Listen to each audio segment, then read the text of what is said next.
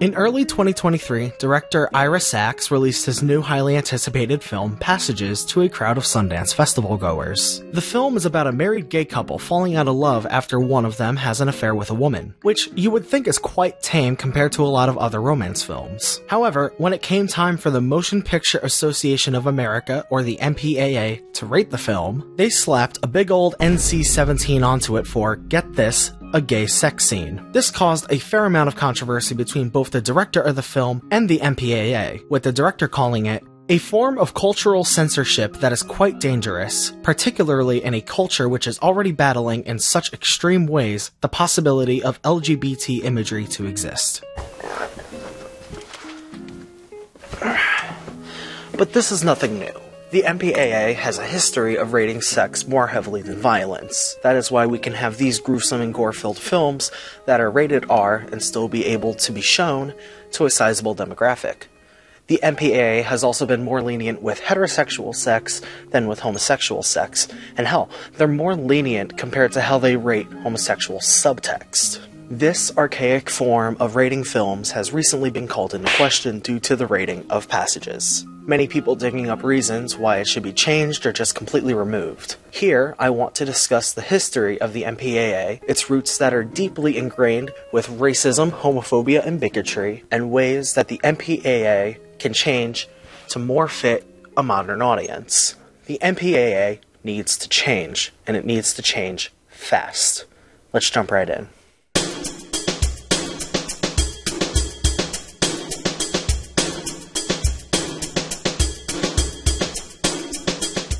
First, let's discuss the villain origin story. Before the 1930s, films were released to the public without any rating system or really any censorship. There were a lot of limitations with what we could accurately capture with cameras at the time, so you could see why they didn't think they needed a system or a set of rules. It was really the wild west of filmmaking. You had sex, violence, drugs, crime, but you also had beautiful stories and free expression. But after numerous Hollywood scandals, political pressure mounted on an industry that was already seen seen as morally dubious. So, after much discussion, William Hays made a list of don'ts and be carefuls in 1927, which would later evolve into the Hays Code, or the Motion Picture Production Code. This code established a set of rules that Hollywood films had to follow in order to not have their films be censored to the public's eyes. This code is important to the history of Hollywood and the film industry because it highlighted the inherent racism and homophobia that was prevalent in the industry. It was a blight, a restriction of artistic freedom. The Hays Code is to the film industry like how Japanese internment camps were to the FDR presidency. Hang on to this thought that the Hays Code was a bigoted set of rules for filmmakers and how it was a crushing weight on creative freedom. We'll come back to this. The code was in effect from 1934 and was put out of its misery in 1968. This happened because in the 50s, filmmakers started getting more experimental and rebellious, pushing boundaries and getting into court battles. Since these rules only applied to American films, foreign films didn't have to obey the Hays Code, and thus foreign films had a role in weakening the influence the code had over filmmaking in America. The power of the code naturally diminished from being heavily enforced to minimally enforced to dissolved. Thus, the MPAA's current film rating system was born, and along with it, a new set of ratings and a new set of problems.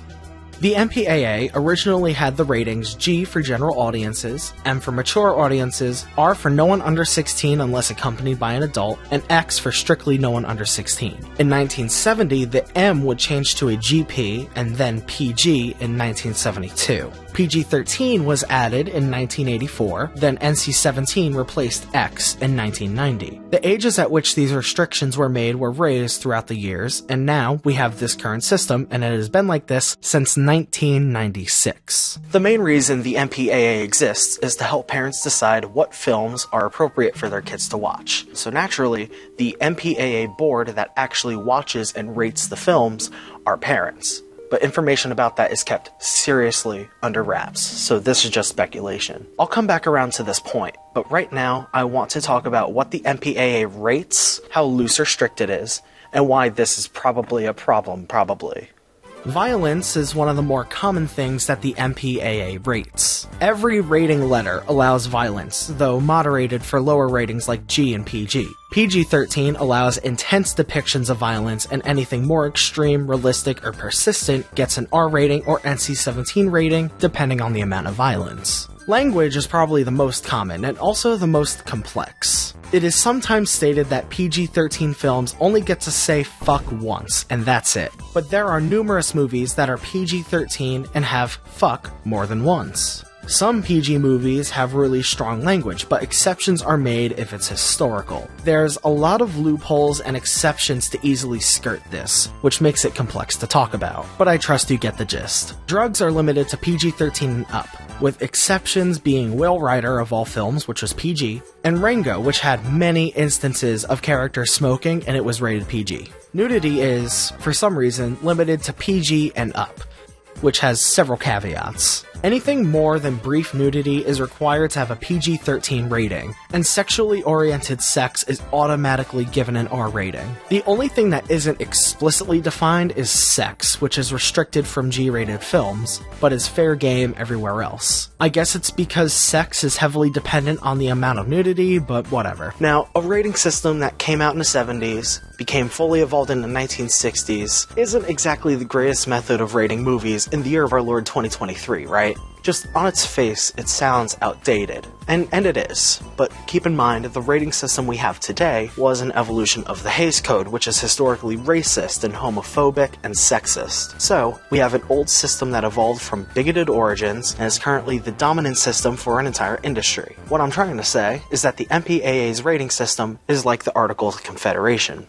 The discussion surrounding the MPAA's rating system is mostly focused on the disparity in how they rate sex and nudity compared to violence. Historically, the MPAA have been lenient on rating violence, but much more strict and borderline unfair when it comes to sex. Here's an example. A lot of horror films are filled with gore. Evil Dead Rise, Hereditary, Midsommar, among others. And most of these films get slapped with a PG-13 or an R. However, take a film like Blue Valentine, which was at first rated NC 17, but was given an R rating after an appeal was made. Ryan Gosling, who starred in the film, accused the MPAA of sexism and misogyny, stating that there's plenty of oral sex scenes in a lot of movies where it's a man receiving it from a woman, and they're R rated. Ours is reversed and somehow it's perceived as pornographic. Something very similar is happening with queer films like Blue is the Warmest Color, But I'm a Cheerleader, and more recently, Passages. Not just with the NC 17 rating, but with all ratings. It's not limited to just queer films either. The MPAA is full of unfair ratings for queer sex, feminine domination of men, depictions of racism, really anything you can think of. Let's think about this logically. If Passages, a film that shows both gay and straight sex, gets an NC 17, then what should Fifty Shades of Grey get? That film shows a lot more than Passages, and it was still a hard R film, but it never got NC 17. Is it because Fifty Shades is between a straight couple? Maybe. But the connection is so present, how can you not connect the dots and think that the MPAA rating system is unfairly biased? NC 17 is a death sentence for films. It limits the exposure the film can get with a wide release, and major chains like AMC or Regal will refuse to show the film just for having the rating. Directors find it better to have their film be released as an unrated film because at least that is a little better than the dreaded NC 17. For example, Terrifier 2 would have easily been NC 17 for its violence and gore. I wouldn't know, I, I haven't seen it, but, but from what I heard, it would definitely have made NC 17, but it went unrated and still made quite a bit of money from the box office. Darren Aronofsky's Requiem for a Dream was originally rated NC 17 before deciding to release it as an unrated film. And now Ira Sachs is releasing Passages as an unrated film exclusively through Mubi. Hashtag not sponsored. As I said, this problem is not only limited to the NC 17 category. Wes Anderson has had a tussle with the MPAA with his 2023 film Asteroid City, which was originally rated R because of a brief nude scene featuring Scarlett Johansson. After an appeal, they upgraded it to a PG 13 film. Brandon Cronenberg's Infinity Pool was originally rated NC 17, but was recut and resubmitted, officially getting the rated R seal of approval. These two cases are most common when resubmitting a film to the MPAA. Either a film will appeal, resubmitting the same cut, explaining why they think it should have this specific rating, or they will recut the film in hopes that the MPAA takes mercy on them. And this is kind of a problem. It's like the Hays Code, where filmmakers need to censor themselves as to not be censored by bureaucracy. The MPAA is exactly that, requiring filmmakers to censor themselves just so their films don't get shot down with a restrictive rating. This is not the only issue with the MPAA, as we've already discussed. But why is the MPAA like this? Why do they rate films with sex more heavily than films with violence?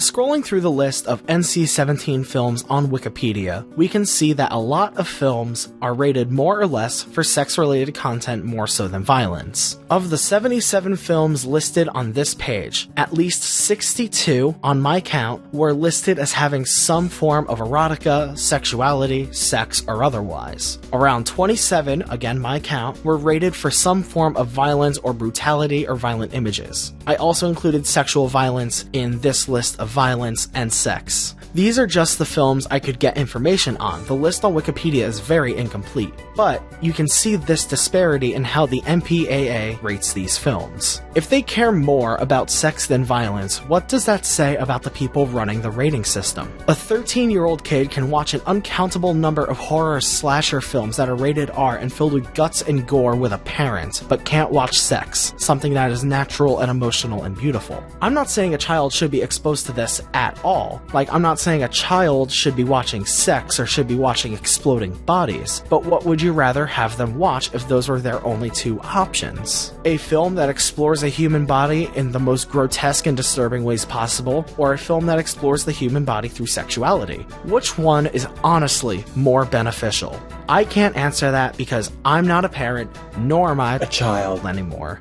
However, as someone who would like to call themselves a filmmaker, regardless of what their film teacher says about their work, I have a few ideas as to how I would personally make this rating system work for everyone involved the parents, the creatives, the MPAA, everyone. And since I have outlined every possible problem with the current rating system, I, and by extension you, are now fully prepared to fix the MPAA's rating system. But where to begin? Let's take a look at the facts we know that the MPAA rates film with sex much more heavily than with violence, and we know that homosexual sex is rated even more heavily than heterosexual sex. An easy fix to this is more equal representation of sex. Sex is sex, whether it is between man and woman, man and man, woman and woman, person and person. It should be treated as such with film. In terms of violence, there should be more strict guidelines to make it equal to sex. The main point of rating systems for film is parental control, but there is an apparent lack of equality in how films are rated. So, in order to fix this, violence should not be looked past and should be rated with just as much of an iron fist as sex. This should naturally make ratings more consistent to each other. In terms of language, I think the guidelines that constitute language should be loosened, a bit more flexible for our changing times. I think films that are rated R for language only is a bit unfair, because I was actively using foul language since the age of 12. And most kids in school were doing it earlier than I was because I was one of the good ones. Kids are learning faster and earlier nowadays, and the rating system should reflect that. Everything I have mentioned thus far is an effort to put every film on an equal spectrum of rating to maintain fairness and equality, and everything I have mentioned has been guideline changes. However, there's still a very human problem in that changing the system's mechanics won't work if the mechanics are still determined and enforced by humans. In order to change the system, you have to change the people. The board should be made up of a much more diverse group of people and should not be limited to just 10 or so. 10 people cannot act as a monolith for the entirety of film culture, especially 10 straight white people. I think it should be a board of around 25 to 30 people and should be a mix of all cultures and sexualities. Think about it. If there's a film that deals with a gay couple, it would make sense to have a gay person at the table to say, hey, this checks out. Or, hey, this is kind of bad. It isn't perfect. I can see where this could cause some problems, but no system is perfect, and this is far better than what we have now. Finally, I believe a new, much clearer rating system should be put into place. G for general audiences stays in place, PG for parental guidance stays in place, M for mature audiences replaces PG 13, X replaces the R rating, and 18 plus replaces NC 17, but with a caveat. There are two categories of 18 plus, separating non pornographic and pornographic films. Non pornographic gets rated as 18 plus, but pornographic gets rated as triple X. This creates a distinction between the two categories and a clear separation between them. I believe this rating system is a much better and much clearer way to rate films for the general public. Once again, it is not perfect, but it is arguably better than what we have now.